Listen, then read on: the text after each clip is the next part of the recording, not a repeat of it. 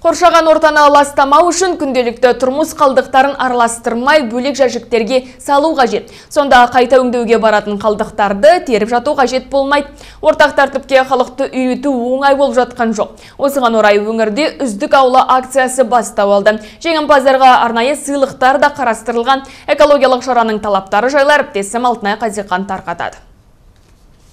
Сүтішев көшесі 23 мекен жайында тұратын жерлестеріміз қоршаған ортаның тазалығына аса үлкен мән береді. Тұрмыс қалдықтарын араластырмай шыныны бөлек, пластикті бөлек жинау туралы өткен жылы Радуга серіктестігімен келісім шартқа отырған екен. Нәтижесінде маңай біршама тазарыпты. Тәртіпті сақтау үшін тұрғындар биыл үздік аула акциясына қатысып отыр. В моем КСК, КСК называется «Маяк».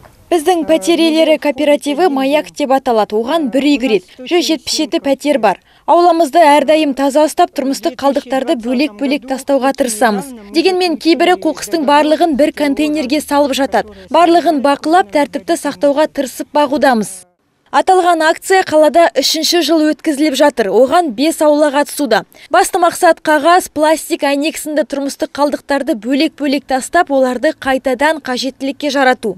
Данный конкурс проводится при поддержке Управления природных ресурсов и Аталған байқау табиғи ресурстар басқармасы мен Рим Казагро және Сторсырье серіктестіктерінің қолдауымен өткізіліп отыр. Жыл сайын акцияға қатысамын деген өтініштер көптеп түскенін байқадық. Сондай-ақ жиналған қоқыс мөлшері де артып келеді. Биыл да осы тенденция сақталады деген ниеттеміз.